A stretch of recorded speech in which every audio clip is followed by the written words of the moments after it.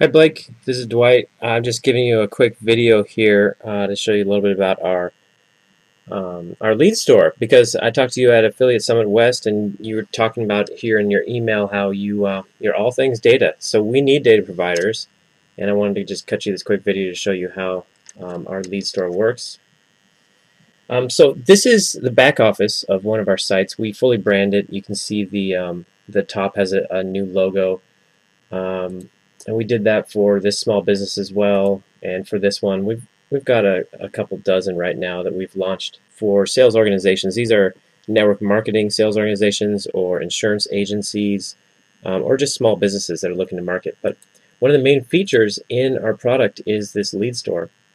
You'll see here, here under the attract tab that um, there's a buy leads button. You can click on that and go right into the lead store well, we've integrated with Peak USA. Um, you might know Gary Busoni. He was actually at this the uh, Affiliate Summit West show as well. But like I said, we're looking for new lead providers, so we'd love to have your data in here. We think of it as a lead marketplace. We don't provide leads ourselves, so it's the kind of thing where we'd like to have uh, the more the merrier, diverse kind of leads. And Gary's leads primarily focus on um, opportunity, business, business opportunity seekers for the MLM. So we're looking for more leads for small businesses, um, people that are looking to buy products, people that are looking for maybe affiliate opportunities rather than network marketing opportunities, um, people that may just be in different demographics, um, uh, females, people over 60, things like that. We can really um, segment out this list and just uh, make the leads available for them to purchase. The main point here is though, we don't want to have to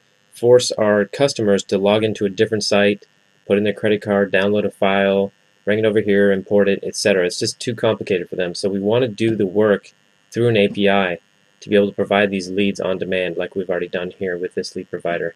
So you can see you can just browse through the leads, you can add them to the cart, and uh, I've got um, five different types of leads here in my cart and I can proceed to the checkout. It's as easy as that, just confirming the different leads that we have there and then uh, coming over to the checkout page. Now we're already going to have all the marketers, even if it's a sales organization, we'll have all their credit cards on file already. So it'll just be a matter of them confirming their their billing information and clicking on the checkout.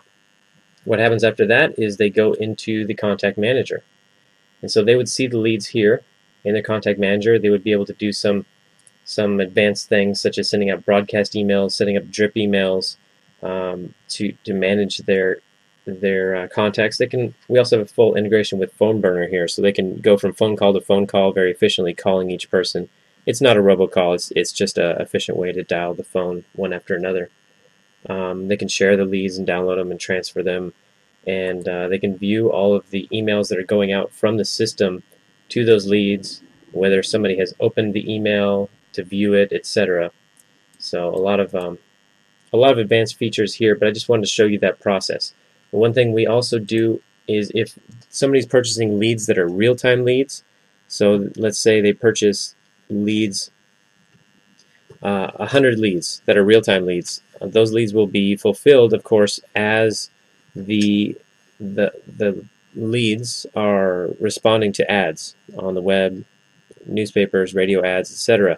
So what they're actually doing here is they're buying credits, and then we're fulfilling them through the API on uh, on demand so they would see a little bar graph over here. It's not visible right now, but we already have this in place.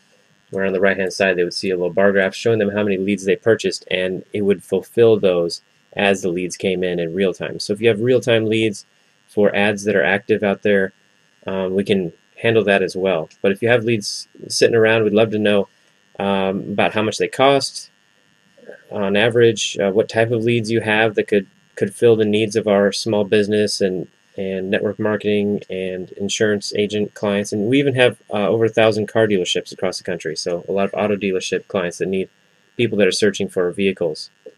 Um, so we'd like to know how much the leads cost. If you could integrate via API, that's um, that's pretty much an imperative. Otherwise, we could upload a, a big list and put it into the store as if it if it was on demand, but we'd have to work out, I guess, some sort of pricing scheme there to pay you as they're purchased.